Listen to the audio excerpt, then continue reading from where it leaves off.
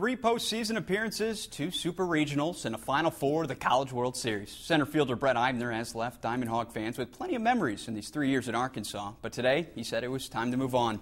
Eibner made it official by signing his rookie contract with the Kansas City Royals, a deal reportedly including a signing bonus worth 1.2 million. Now, most teams scouted Eibner as a pitcher as opposed to playing center field. But Brett wants to be an everyday position player, and the Royals are giving him the opportunity to do that. I've known I can hit my whole life. I've done it my whole life. I've played outfield my whole life. Um, yeah, it wasn't up until a few years ago that you know, I started pitching.